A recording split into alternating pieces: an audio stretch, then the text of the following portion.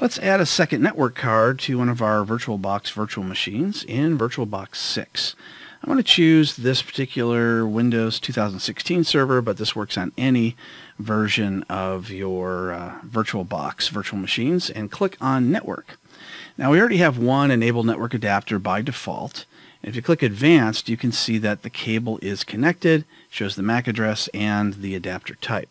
So click on Adapter 2 and choose the same option. You can choose uh, NAT or internal, whatever type of connection you're going to have. I have different videos in this playlist that explain what each of those are.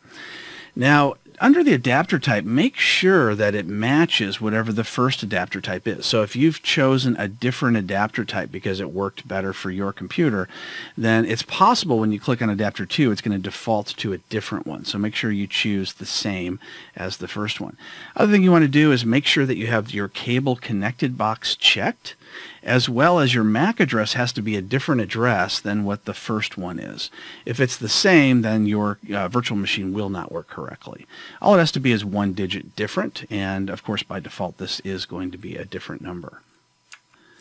If you've cloned your virtual machines, then you also want to make sure that you go in and update this by changing the MAC address. Once that's done, we still have a little bit more work to do when you boot up into the virtual machine itself. Now this is a Windows, so I'll be demonstrating from a Windows server, but um, you'll have to also do something similar if you're using Linux or a Windows client, that kind of thing. If we go into our network and sharing center and edit our adapters, and you can do this through settings as well as the traditional control panel, click on change adapter settings. Now we see two network cards instead of just one.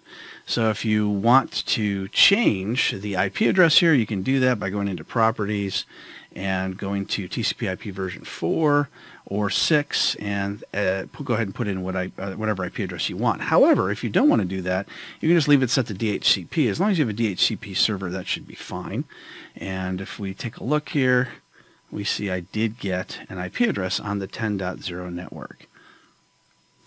So that is how you add additional network interface cards to VirtualBox 6.